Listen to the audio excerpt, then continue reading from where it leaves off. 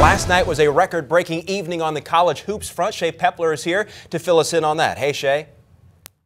Ray, Texas Southern squeezed out a win over Temple last night, and one Tiger was blowing up the Twitterverse because he scored 48 points, a college hoops high so far this season, and the most scored on Temple ever. He also sent out this tweet last night. I just want everyone to know I see the ats. It's just too many to reply to all. Thanks. Truly blessed. In college football news, Heisman finalist and Auburn running back Tre Mason has a new pair of socks that feature himself on them. Check out his Instagram. Two pairs, actually. RG3 had Superman socks, and Mason has socks of himself. So weird.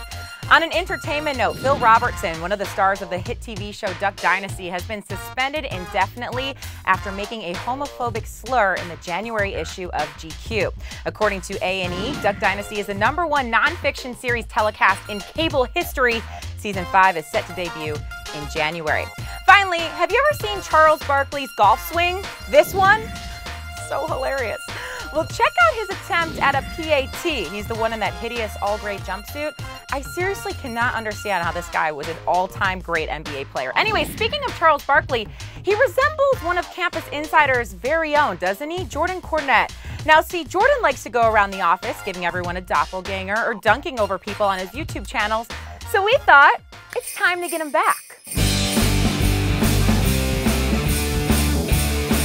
Happy holidays, Jordan, from all of us. Back to you, Ray.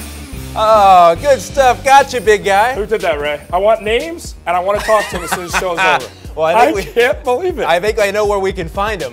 wow. Shae, well done. I didn't think you had it in you. I'm actually impressed. Doug, did you know about this? Unbelievable. Oh, he admits to it. Unbelievable. Okay, Shae. It's I, on. got, I had a heads It's up. too. on. It's fun. Good stuff.